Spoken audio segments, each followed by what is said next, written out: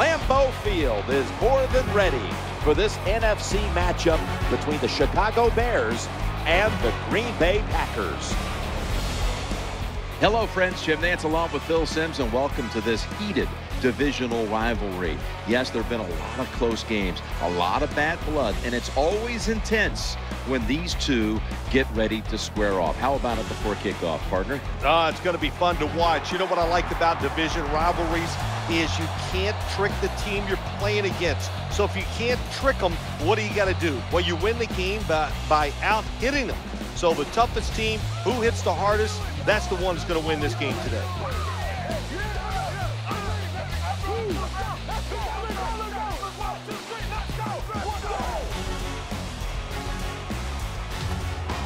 Throw out all the week-long hype. The teams are in position now, and now they can settle things on the field.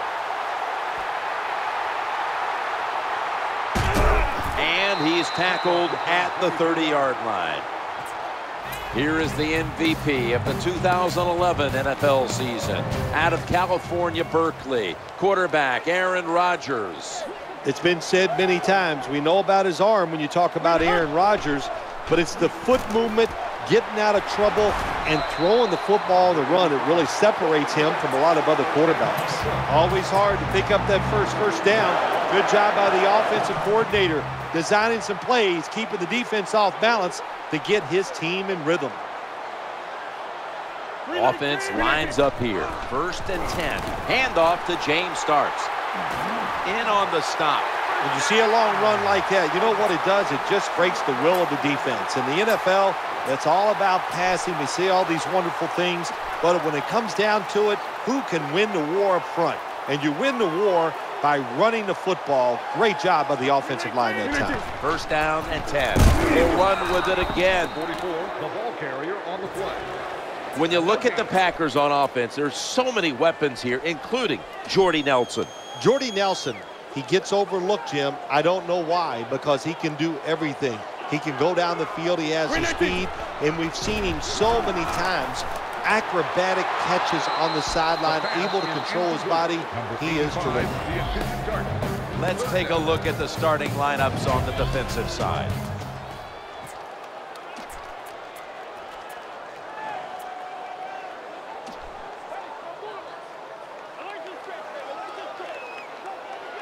Third down on the way. Here's the give to James Starks. They tackle him for a loss. Loss of two on the play. The punt team is in place and ready to perform.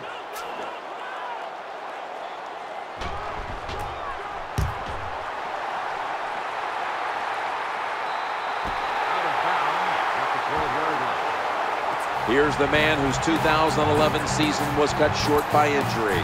Quarterback Jay Cutler. I think we saw last year when Jay Cutler was out of the lineup, this Chicago Bears offense completely fell apart. They had a hard time getting first downs, much less scoring any points. Now first and 10. The handoff to Matt Forte. Defense has him wrapped up. Good job that time by the running back. I'm sure he's a little winded after that play. He showed that speed getting out there and picking up those extra yards.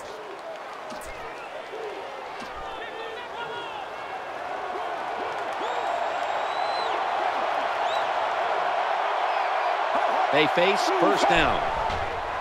Three-step drop. That ball was going the other way. Bringing the play to an end. I, well, I have to say that's just a terrible decision by the quarterback there. He's got to know when you're in a situation like this, you just cannot make that type of pass. It's first down as they head to the line. Handoff. And he's brought down by Lance Briggs. No gain on the play.